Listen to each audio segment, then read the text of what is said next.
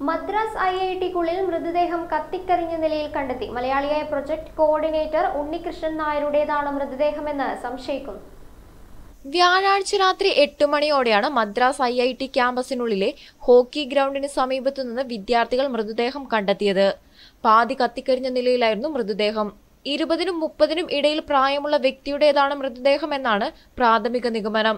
Madras I I ടിയിലെ Malayali project coordinator Unnikrishnan നായരുടേതാണ് മൃതദേഹമെന്ന് മദ്രാസ് ഐ ഐ ടിക്കുള്ളിൽ നിന്നും വിവരം ലഭിച്ചിട്ടുണ്ട്.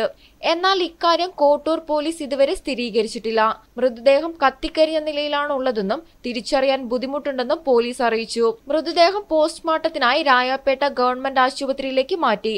സ്വാഭാവിക മരണത്തിനാണ് പോലീസ് കേസെടുത്തിരിക്കുന്നത്. News desk real news Kerala